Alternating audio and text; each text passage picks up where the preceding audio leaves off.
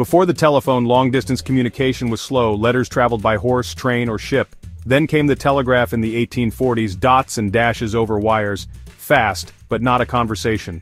In the 1870s, Scottish-born inventor Alexander Graham Bell was experimenting with sound transmission. He wanted to improve the telegraph, and dreamed of sending the human voice through wires. On March 10, 1876, it happened. Bell spilled acid on his clothes and called to his assistant, Mr. Watson, come here, I want to see you. Watson, hearing it clearly, rushed in. It worked. The first telephone converted sound waves into electrical signals. A vibrating diaphragm moved a magnet near a coil, creating a current that traveled through a wire to a receiver, where it turned back into sound. The invention spread rapidly. Bell's telephone company formed in 1877, and by 1900, millions of phones were in use. It changed everything, business, personal life, even emergencies.